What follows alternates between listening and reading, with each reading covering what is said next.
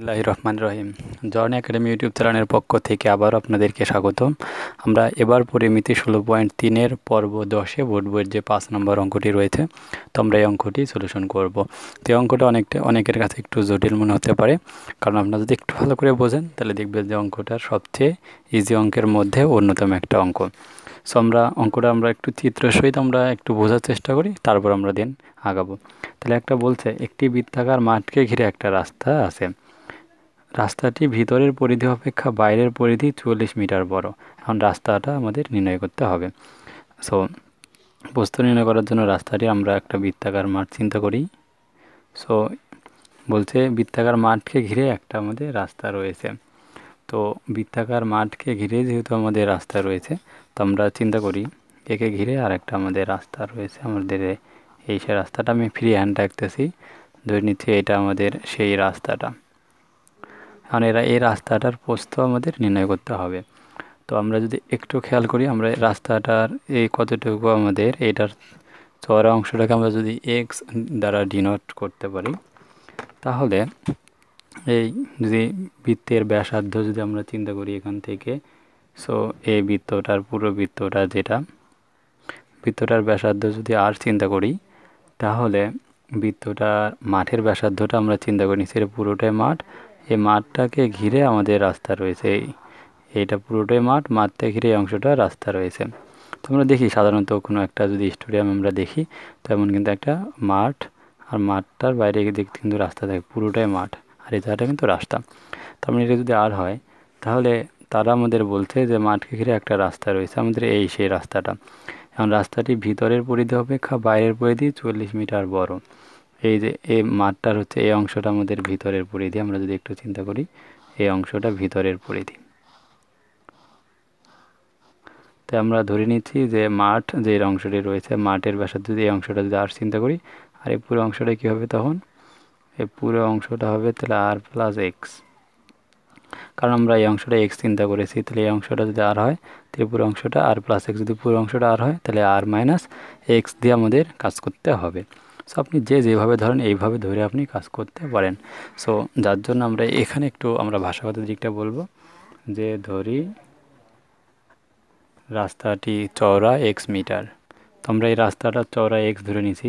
তাহলে আমরা পুরো মাঠটা যদি চিন্তা করি, তো এটা কিন্তু মাঠ পুরোটাই কিন্তু না, আমাদের শুধু খেলার মাঠ এইটুকু। তাই আমরা মাঠের ব্যাসার্ধটা আমরা ধরে নিব। মাঠের ব্যাসার্ধ মাঠের ব্যাসার্ধটা আমরা যদি আর মিটার ধরে নেই, এটা একটা মাঠ ছিল।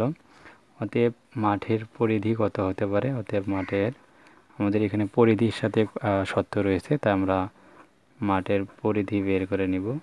পরিধি ইকুয়ালস টু টু পাই হচ্ছে আর দেন এবার কাজ হলো আমাদের এখানে রয়েছে রাস্তাটি ভিতরের পরিধি অপেক্ষা বাইরের পরিধি। তার মানে ভিতরেরটা আমরা বের করে নিচ্ছি, শুধু মাঠটা। আর ভিত, পুরোটাই হচ্ছে আমাদের মাঠ সহ কিন্তু ব্যাসার্ধ নিতে হবে। তাই রাস্তা সহ আমাদের মাঠটা কিন্তু আসবে। তাই রাস্তা সহ মাঠের ব্যাসার্ধটা আমাদের নিতে হচ্ছে। রাস্তা সহ মাঠের ব্যাসার্ধ কী হবে? আর প্লাস এক্স অতএব রাস্তা সহ মাঠের পরিধির রেজাল্ট আমাদের আসবে তো পরিধি সমান আমরা জানি টু পাই আর তাহলে টু পাই আর মানে হচ্ছে আমাদের আর প্লাস এক্স তো এখন এদের যে স্টেটমেন্ট অনুসারে আমরা প্রশ্ন মতে কী বলতে পারব? প্রশ্ন মতে বলতে পারব বাইরের পরিধি। বাইরের পরিধি মানে পুরোটাই। সো এটা হচ্ছে রাস্তা সব মাঠের পরিধি, পুরো অংশটাই। এটা হচ্ছে two pi into r plus x আর বাইরের পরিধি ভিতরের পরিধি আমাদের কোন অংশটুকু? এই অংশটুকু। সো এটা হচ্ছে আমাদের টয়েস পাই আর তো টয়েস পাই আর এদের কথা হলো এদের বড় অক্ষর। আমরা যদি বড়টার থেকে ষোলোটা বাদ দিই রেজাল্ট পাবো কত? ফোরটি ফোর দেন আমরা ইকুয়েশন পেয়ে গেছি। এখন এই ইকুয়েশনটা আমরা যদি সলিউশন করতে পারি, তাহলে আমাদের উত্তরটি চলে আসবে। তো এখান থেকে আমি হচ্ছে টয়েস পাই কমন করলাম। থাকলে এখানে আর প্লাস এক্স এখানে আমি টয়েস পাই যদি নেই, তাহলে থাকবে only r minus r equal to হচ্ছে ফোরটি ফোর তাহলে এখান থেকে আর ক্যান্সেল আউট তাহলে x equal to forty four by হচ্ছে টু পাই আমরা এখন দেশ এই অংশটুকু জাস্ট ক্যালকুলেটর ইউজ করব। আমাদের দেন উত্তরটি চলে আসবে। অন করলাম চুয়াল্লিশ ভাগ টু গুণন three point one four one six then আমরা ব্র্যাকেট ক্লোজ করে দিলাম। তাহলে আমাদের যে উত্তরটা আমরা পেয়ে গেছি seven point double zero eight two eight রয়েছে, তাই আমরা থ্রি করে দিব। X equal to seven point double zero three এত হচ্ছে কিন্তু আমাদের মিটার অবশ্যই পায়ের মান ব্যবহার করলে আসন্ন মান আমাদের লিখতে হয়। তো আমরা আসন্ন মান লিখলাম। আর এই অংশটাই কি আমরা ধরে নিয়েছিলাম? এটাই হচ্ছে এক্সট্রা ছিল। রাস্তাটি কতটুকু হচ্ছে আমাদের রাস্তাটির পোস্ত বা চওড়া? এটা আমরা বের করে নিয়েছি। মানে এখানে যেহেতু রাস্তাটির পোস্ত বলছে, তাই আমরা পৌঁছানোতে এই জায়গায় আমরা পোস্ত কথাটা বলব। কারণ ওরা চওড়ার কথা বলেনি, তাই আমরা পোস্ত ইকুয়াল টু এক্স মিটার বলব। অতএব নির্ণয় আমাদের সর্বশেষ যে কাঙ্ক্ষিত উত্তর, অতএব নির্ণয়, রাস্তাটি, চওড়া। রাস্তাটি চওড়া না, এখানে আমাদের রাস্তাটির প্রস্থ। পুরাতন বইয়ে চওড়া রয়েছে। তো যে প্রশ্নে যেটাই থাকুক না কেন, আপনি আশা করি সেইটা লিখতে পারবেন।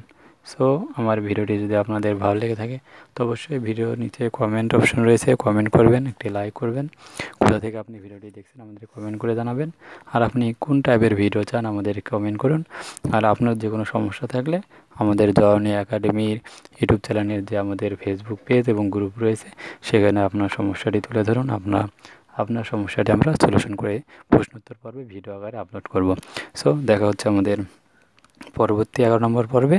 সো আমরা এই অধ্যায়ের যে আমরা তেইশ, ছাব্বিশটা পর্ব করব, তার এটি হচ্ছে আমাদের দশ নম্বর পর্ব। তো পরবর্তী পর্বগুলো দেখার আমন্ত্রণ জানিয়ে ভিডিওটা এখানে শেষ করছি। আসসালামু আলাইকুম রহমতুল্লাহ।